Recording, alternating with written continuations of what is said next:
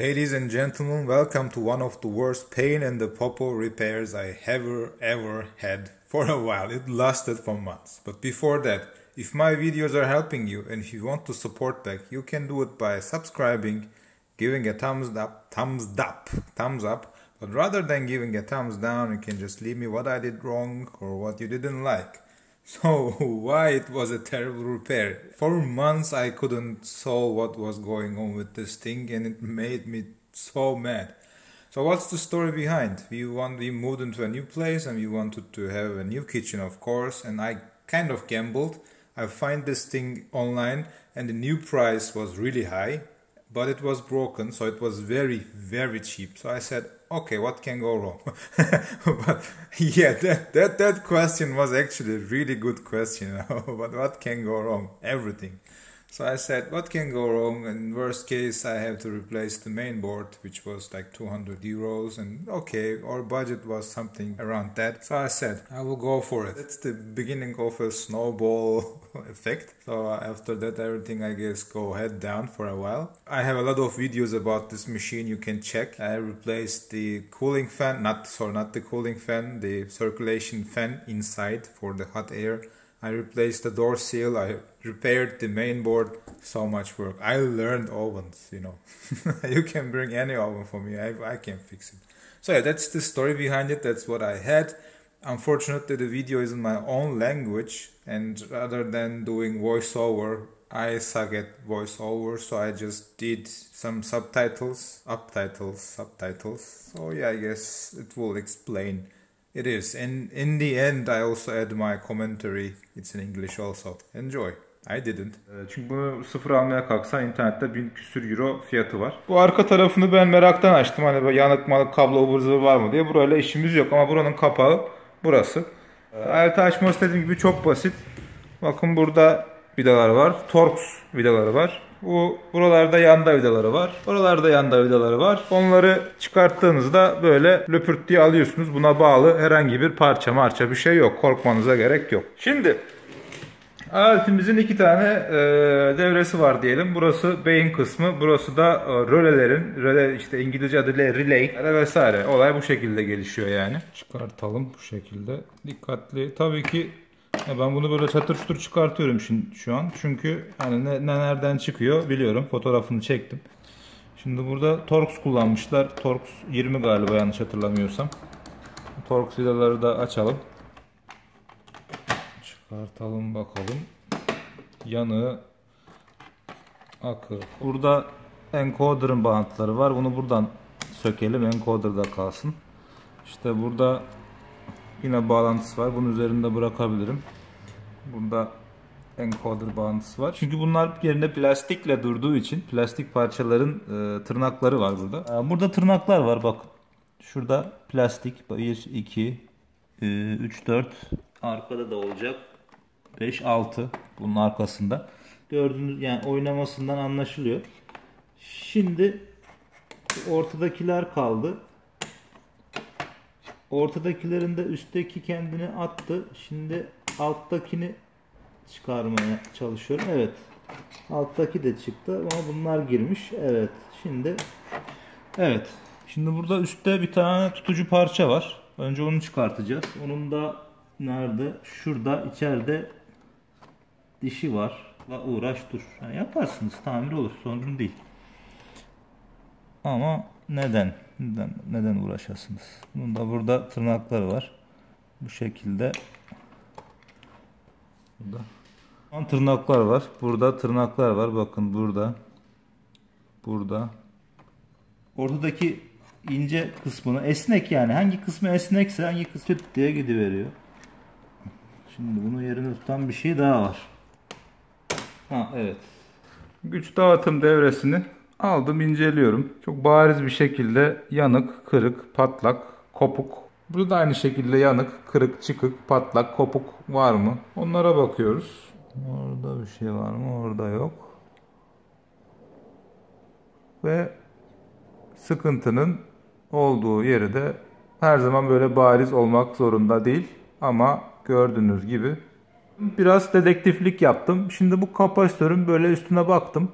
Kapasitör olduğunu bir öğrendim artık ağzımdan kaçmış oldu. Şimdi baktım bunun üzerine dedim ki bunun böyle üst kısmı kapak gibi patlamış. Dedim acaba ben onu makinenin içinde bulabilir miyim? Ve gerçekten de patlamış kısmın üst kısmını gerçekten buldum.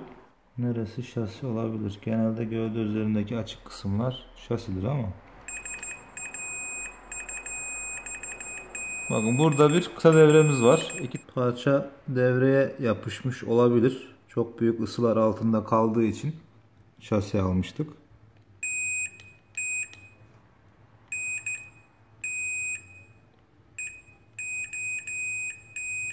L05B 78 Evet internetten şematiğini buldum. Voltaj regülatörüymüş. Yeni tantolum kapasitörünü alıp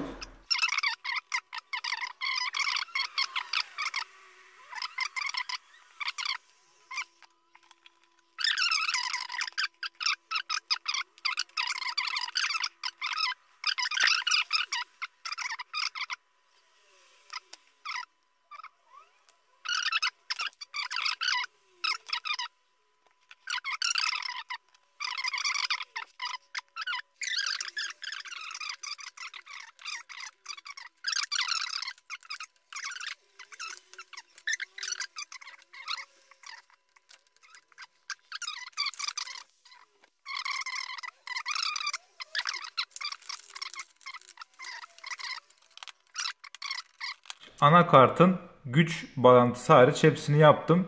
Çünkü e, buradaki voltajı ölçeceğim. Patlayan kapasitör de tamam hemen burada olduğu için burada bir aşırı bir voltaj var mı ona bakacağım. Bu aşamada dikkatli oluyoruz. Çünkü alet elektrik olacak. Ona göre dikkatli olun. Şimdi multimetremi doğru akımı ayarlıyorum. Doğru akımı ölçecek şekilde.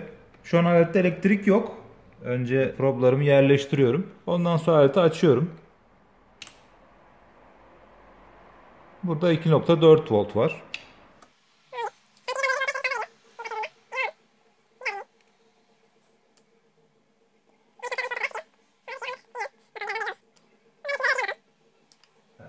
Anakartı da devreye bağlıyorum. Bağlantılara son bir kez bakıyorum. Eksik yedik ıvır zıvır var mı? Hadi bakalım bir deneyelim.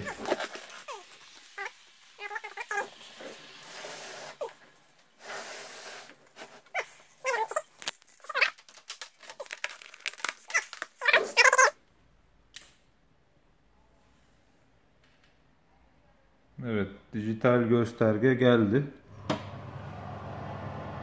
Evet, şu an içeriden gelen ısıyı hissediyorum. Ee, herhangi bir yorumunuz, öneriniz, isteğiniz, dileğiniz varsa bunu aşağı yorumlar kısmına bırakabilirsiniz. Ee, kanalıma abone olursanız bana yardımcı olmuş olursunuz.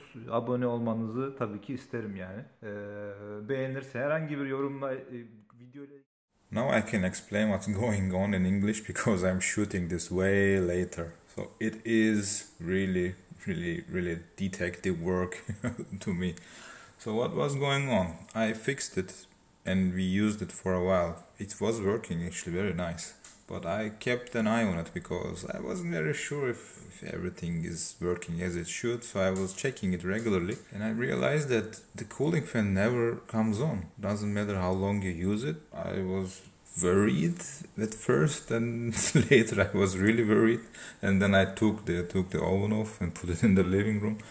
And I searched I searched I searched I tried so many things. I even replaced some ICs here which controls these relays. I checked everything. It made me so mad. Whatever I did it didn't work. The the fan didn't switch on. I wanted to test the the fan itself so in Europe we are using 220 volts. So if these are working 220 volts direct voltage, you can just plug them to the wall outlet and they will work. I connected to the 220 and poof, the circuit breakers just cut the electricity. But when I measured this, there is no problem with it. And I unplugged the cables, tested again, it worked. Then I realized these cables are shorted and then I realized the cable connections were messed up. So there's two possibilities. This machine got a repair before me. So you can see there is this relay, the black relay, someone replaced it. Either they messed the cable connections or it was messed up from the beginning from the factory i don't think so but maybe. It was the perfect sabotage that you can do to kill the machine after some time. It's what it is like a ticking time bomb. You can use the thing you can use the oven but since the cooling fan doesn't come on this area got so hot crazy hot. And what this does it creates short circuit. For example capacitor that i replaced it was blown because of the excessive heat. So it's, if, if, if someone did it on purpose, it was a genius way of sabotaging the oven. Maybe it is from the factory, who knows? Because maybe this relay also got damaged because of the excessive heat and someone replaced it, you know? Who knows? Who knows? So yeah, you should you should check if your cooling fan works.